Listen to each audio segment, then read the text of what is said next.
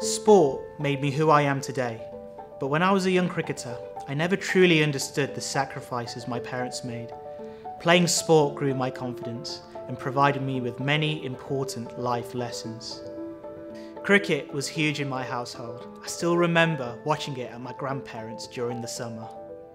With the support of my family, and much to my surprise, I was selected to play county cricket at just nine years old.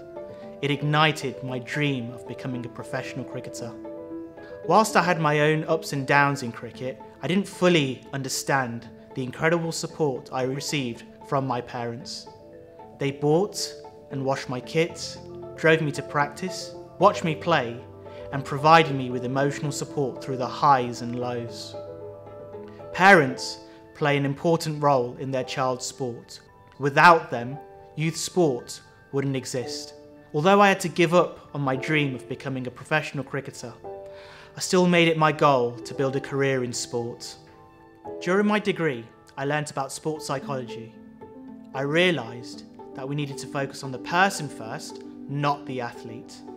My research today looks at ways to develop parental resilience in youth sport, to provide parents with the key tools to help them manage their responsibilities and maintain their psychological well-being.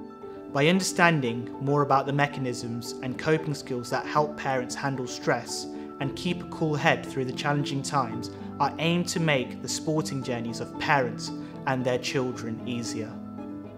I'm currently planning an intervention program to help parents develop resilience so they can manage the many different demands within their child's sports, support their child in the best way possible, and prepare them for the challenges they could face when they become adults.